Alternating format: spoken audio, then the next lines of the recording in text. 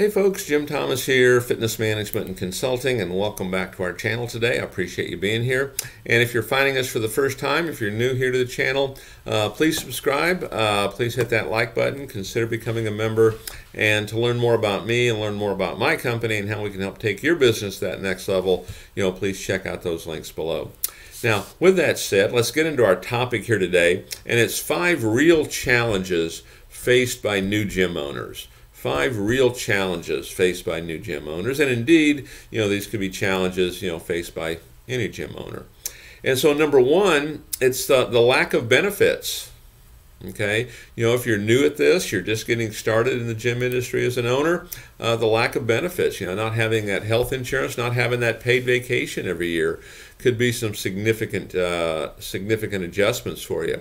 And so some things to think about here. I mean, if you have a spouse, uh, that maybe can get you on their insurance is a common solution. Uh, or, you know, sometimes you maintain your job and spouse runs the business, you know, while um, while you're getting this thing started. So there can be some potential solutions in there, but one of those real challenges and uh, things that really is different for a lot of folks when they first get started is that.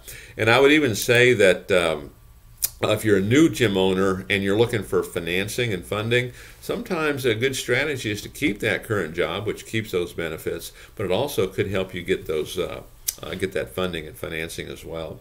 Uh, number two, um, time spent working.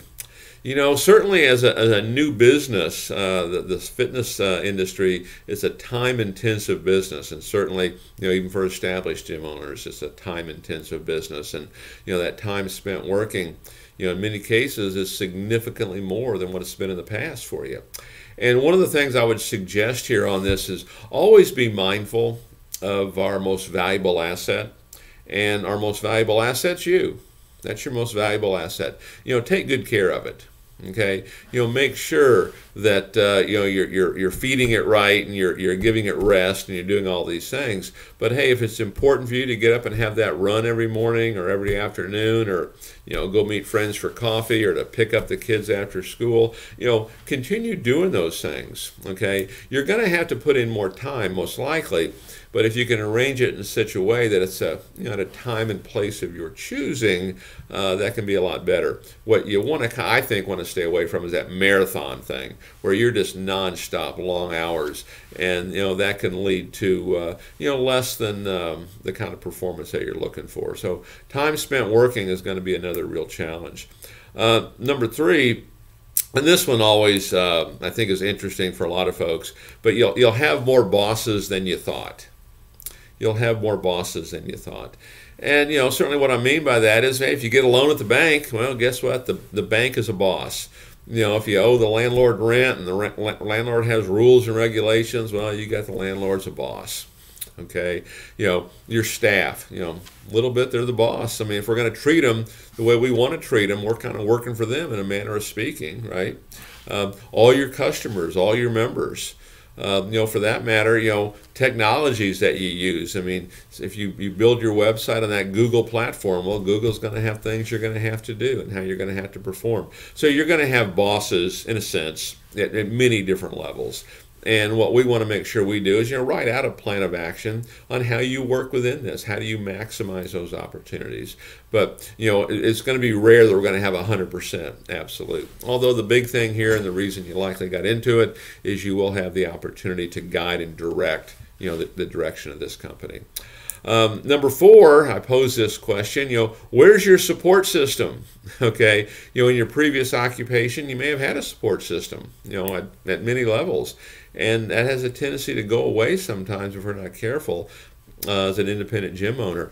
And you know, one of the things that I've found to be true for independent gym owners is very much this issue of becoming isolated. It's just us.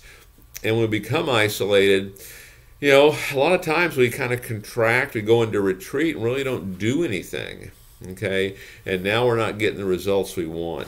And one of the things you want to be able to do is surround yourself with, with people that can really provide that support. You want folks that have been there and done that. Okay, uh, you know certainly myself as a consultant, and there's other consultants you know in the industry that can help with this. Uh, could be attorneys, it could be accountants, uh, but you want to surround yourself with a support system uh, with people that have been there and done that. The other part of the support system that I would suggest on this, again, particularly if you're new, yeah, always yes, but particularly if you're new, uh, that support system. You know, don't don't have naysayers hanging around. Oh, why are you still doing this? Why are you hanging in there? This is not going to work you want to hang around high achievers and people that are you know looking to get things done. I, I, would even suggest you know look at local networking groups and become part of things like that. Uh, folks that are entrepreneurs, you know, business owners, you know, people that are thinking big. This is what you want to be doing. And then number five on uh, my real challenges faced by new gym owners is you know determination and dedication. You know, sticking with this.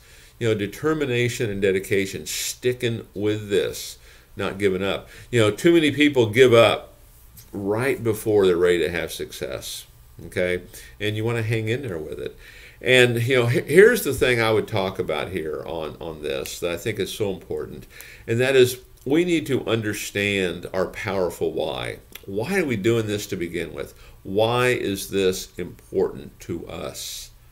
Because that why needs to be so big that any obstacle is going to pale in comparison.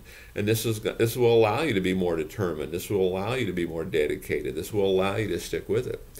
And I would go back to a, a former client of ours. You know, I remember when he first called me up, and he was working a regular job, and and I'd ask him, you know, why he wanted to open a gym, and he said what he was looking for was he wanted the freedom, okay, of a business owner where he could spend more time with his family, more time with his kids. He didn't mind putting the time in, but again, he wanted to do it more at a time and place of his choosing.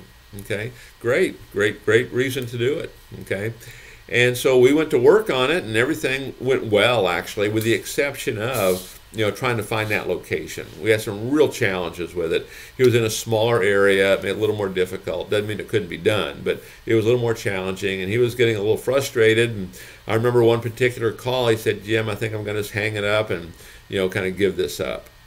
And I said, okay, you know, that's your call, certainly. I said, but let me ask you this. Why did you originally want to do it? You know, what was the reason? And he goes, Well, Jim, the, the big reason I wanted to do this, I wanted more freedom. I don't mind working, but I wanted to you know, be able to work at a time and place of my choosing. I wanted more time with my family, more time with my kids. Okay. And I said, Well, has that changed? He says, No. I said, So that's still the case. You want that, right? He said, Yes. He goes, he goes, you know what, you're right. Let's hang in there with this. Let's keep working on it. And he did, and he found his location, and he's done very well. Okay, so we want to stay mindful of that powerful why and why this is so important to us. And we want it so big and so important that anything that happens as far as obstacles and setbacks, you know, they pale in comparison. So five real challenges, you know, faced by new gym owners and indeed, you know, current gym owners, long-standing gym owners. So folks, my name is Jim Thomas. My company is Fitness Management and Consulting. Appreciate you being here at the channel today. And if you've not yet done so, please subscribe. Uh, if you found the information beneficial, uh, please hit the like button. Uh, consider becoming a member. And to learn more about me, learn more about my company, you know, please check out those links below. And we look forward to seeing you all in that next video.